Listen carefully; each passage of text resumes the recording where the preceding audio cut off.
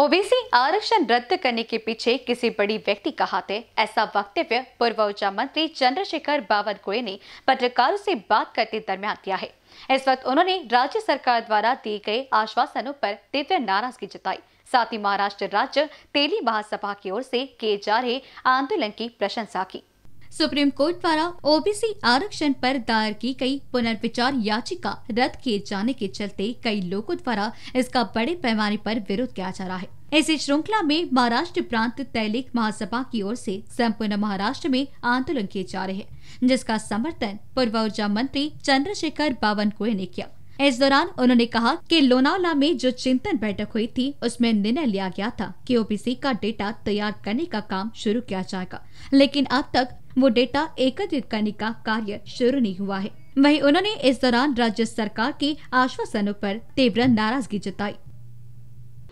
मला या गोष्टीचं वाईट वाटतं आहे की लोणावळ्याला चिंतन शिबिर झाल्यावर चिंतन शिबिरा शिबिरात जो ठराव झाला त्या ठरावामध्ये राज्य निवडणूक आयोगाने तातडीने सर्व जिल्हाधिकाऱ्यांना पत्र देऊन ओबीसीचा डेटा तयार करण्याचं काम चालू करू आणि उद्याच चालू करू असा निर्णय झाला होता. पण अजूनपर्यंत राज्य मागास आयोगाने आयोगाने डेटा सुरू करण्याचं काम सुरू केलं नाही. डेटा सुरू झाला नाही. तयार करण्याचं काम. दुसरीकडे राज्याचे राज्य सरकारने जाहीर केलं. पत्रकारों से बात करते हुए बावनकुळे ने महाराष्ट्र प्रांत तैलिक महासभा द्वारा किए जा रहे आंदोलन की प्रशंसा की। साथ ही उन्होंने इस वक्त प्रश्न उठाया कि ओबीसी आरक्षण का शुक्राचार्य कौन है?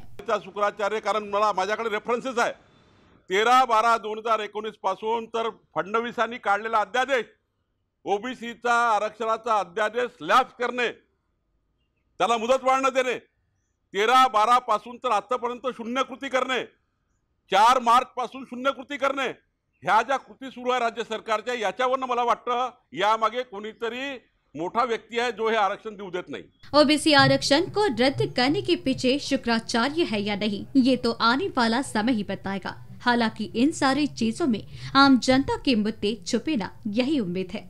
कैमरा पर्सन राजकुमार बोहट के साथ दिशा हटवार की रिपोर्ट।